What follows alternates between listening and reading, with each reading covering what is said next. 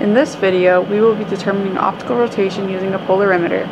Optical activity is a degree that an optically active or chiral compound rotates plane polarized light. Once you have isolated your compound, you are ready to measure its optical activity in the polarimeter. Dissolve the sample in 7 milliliters of solvent in a separate beaker and record the exact mass of your sample.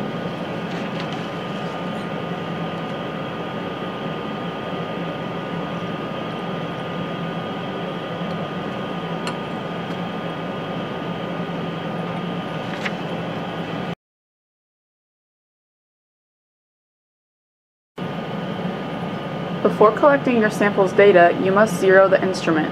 To zero the polarimeter, fill the observation tube with solvent, watch for any air bubbles trapped in the tube, then cap the tube with the stopper and place the tube in the polarimeter, and close the door of the polarimeter.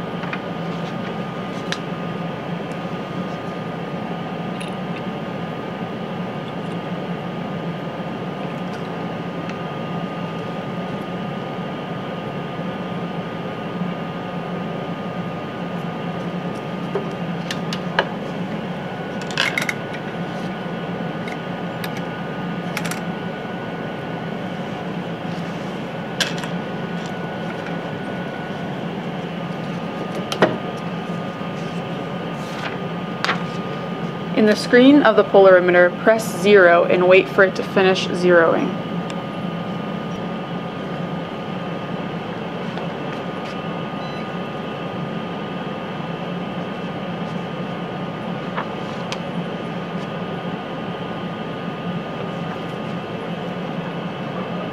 Now, uncap the tube, take it out, empty the solvent into the waste container so you can put in your experimental sample. Now take your prepared solution and pour it into the observation tube. Again, watch for bubbles trapped in the tube. Next, cap the tube with the stopper, place it in the polarimeter, and close the door. On the touchscreen, you will click Start, and when it is finished, you will see the data on the screen.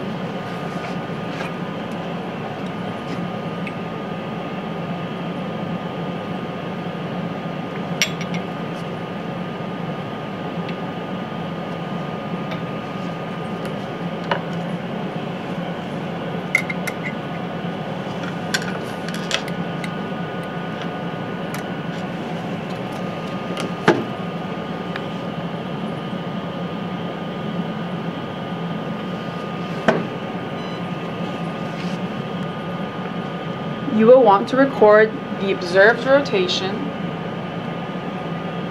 temperature,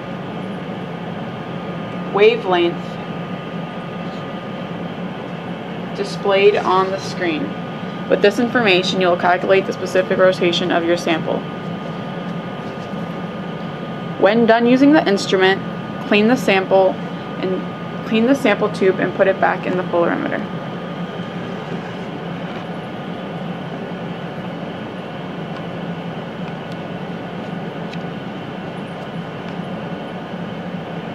When done using the polarimeter, clean the sample tube and put it back in the polarimeter.